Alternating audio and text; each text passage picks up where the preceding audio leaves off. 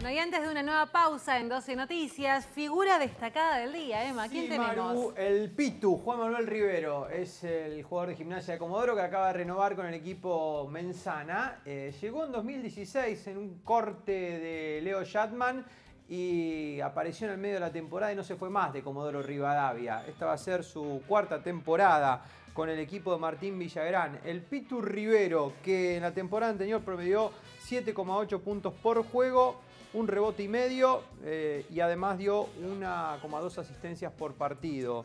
Eh, de esta manera se suma a mm, Franco Giorgetti, a Sebastiano Resta, el nuevo base, a Jonathan Treise y a Diego Romero que ya habían renovado con gimnasia. Es la quinta ficha mayor para el conjunto de Comodoro Rivadavia que busca ser nuevamente protagonista de la Liga Nacional. Recordemos que en la última liga eh, fue eh, un equipo clasificado a playoff, estaba en condiciones de ir por el campeonato. Sin embargo, eh, la pandemia de coronavirus hizo que la liga se suspendiera, pero Gimnasia ya piensa en lo que va a ser la reanudación, que todavía no tiene fecha. Pero se dice, se especula con que allá por el mes de octubre podría volver la competición. Juan Manuel, nuestra figura destacada del día.